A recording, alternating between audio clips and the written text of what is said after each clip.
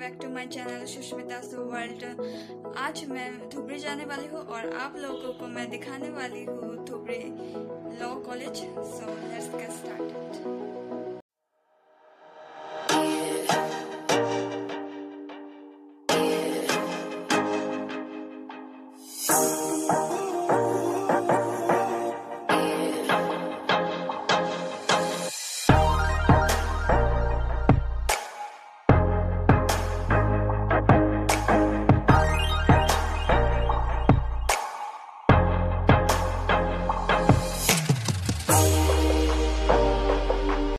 हम पहुंच गए college This college was established on 10th September 1967.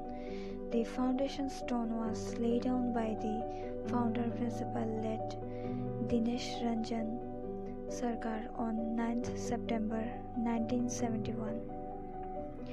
This college is the third law college of the Northeast.